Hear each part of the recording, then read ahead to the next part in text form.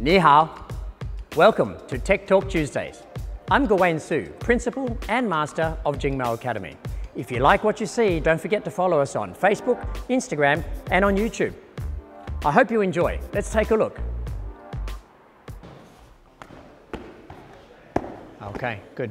Just show you a couple of things. So gaucho pot, la pei pot. First thing about blue belt is maximum power, minimum movement. Maximum power, minimum movement actually is about positioning.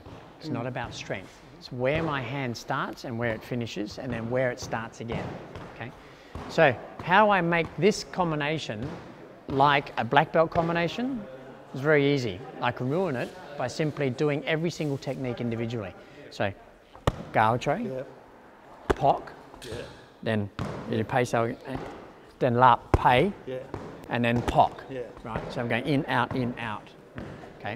What what makes it a blue belt combination is gaucho pock. I replace. So the first thing in my mind is I think about replacing. The moment my hand goes past the target, I want to reconnect. Okay. One. Maintain the kill. When my hand is being pushed away, hmm. replace it with a mm-hmm. pay. Okay.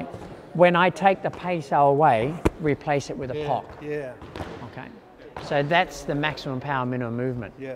I haven't actually gotten any stronger. Yeah. I haven't tried to hit the pads any harder. It's, it's, it's non-stop. Exactly. So it's kind of like, it's kind of like this. The difference between shooting a six, a yeah. six shooter going pow, yeah.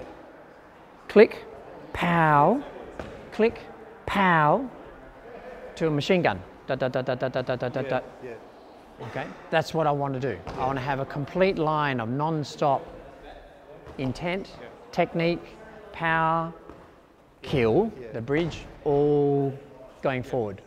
So what did you think?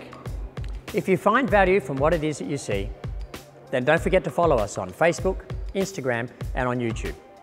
Thanks for sharing your time. See you again.